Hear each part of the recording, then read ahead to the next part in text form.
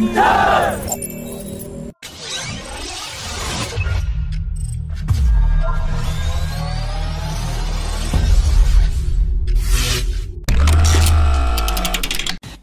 DRDO has successfully carried out the final trial of the NAG anti-tank guided missile with live payload from an NAMICA carrier, and according to senior government officials, the 7 km range third generation indigenous anti-tank system with imaging infrared seeker is now fully ready to be inducted into the Indian Army, as it has completed 10 user trials successfully, and the Indian Army will no longer have to import more spike systems from Israel.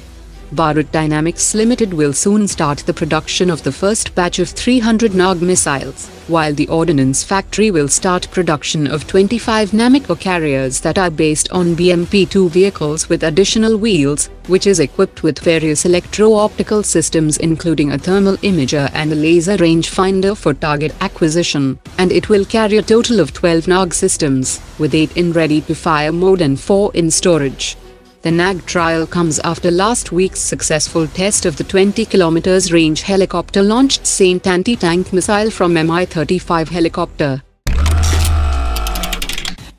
The Indian Navy has inducted the INS Kavaratti into service, which is the last of four indigenously built anti-submarine stealth corvettes under Project 28. The corvette has more than 90% indigenous content, and it has been commissioned in full combat-ready status, as the ship has completed sea trials of all the onboard systems. The Indian Navy has issued a request for proposal for buying 150 new short-range surface-to-air missile systems to replace the current Israeli Barak 1 air defense systems on these four anti-submarine corvettes, and the European defense major MBDA is seen as the front-runner in the competition, which has offered its Sea Ceptor with transfer of technology through a joint venture with Larsen and Toubro.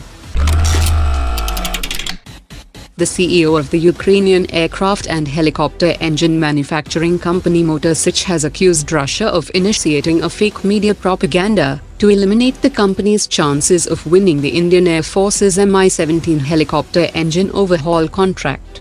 It was recently reported that Motor Sich's majority stakes were owned by a Chinese company, which raised concerns in the Indian defense establishment. However, the Ukrainian company has written a letter to the Indian Ministry of Defense, informing that it had taken loan from a Chinese firm in 2016, which gives them a 5% partnership in Motor Sich, and the Chinese firm has no access to advanced defense technology. He also said that it would be profitable for the Russian side to have no competitors in the tender for engine overhaul, which would allow Russian companies to repair the engines of Indian Air Force's Mi-17 helicopters at increased prices.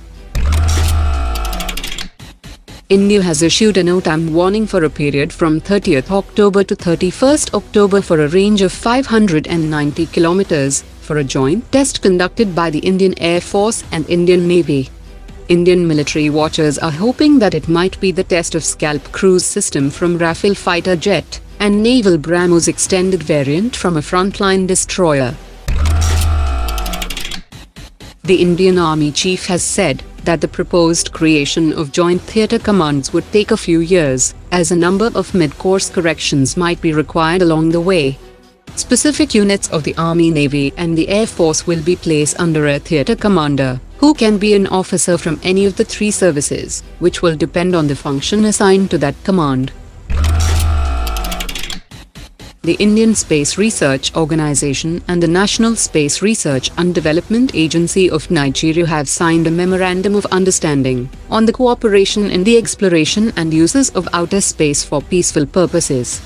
It will lead to setting up of a joint working group that will draw members from both space agencies, who will work out the plan of action including the time frame and the means of implementation.